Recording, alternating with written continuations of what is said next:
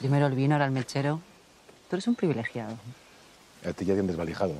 A mí no me han dejado ni las bragas. Tienes suerte de no haber estado aquí hace años. Samuel Alvar, el director nuevo, lo cambió todo. Quitó los barrotes de las ventanas, abrió las puertas, permitió libertad de movimientos. Sí, estoy al corriente.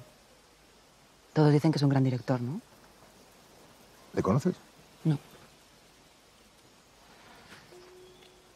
No, pero lo estoy deseando.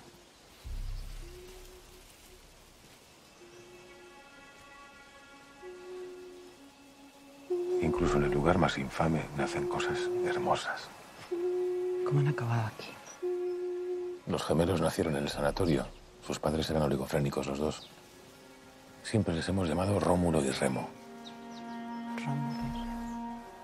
¿Y cuál es cuál? Rómulo es el mimético. Se pasa el día imitando a todo el mundo. Y Remo es incapaz de hablar. ¿Y ella? Rómulo dice que es su hermanita. Cuando se cansa de hacer gansadas, se sienta junto a ella. ¿Y es su hermana realmente? No. Pero él así lo cree. Y mataría a quien le contradijera. Mataría. Un poco exagerado, ¿no?